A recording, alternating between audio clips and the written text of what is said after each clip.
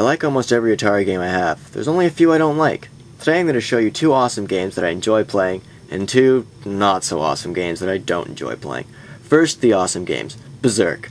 I love Berzerk. Nothing beats running around an electric maze shooting robots.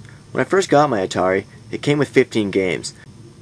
The first game I played was Berzerk, and it was so awesome I didn't bother playing any other games for the next few hours.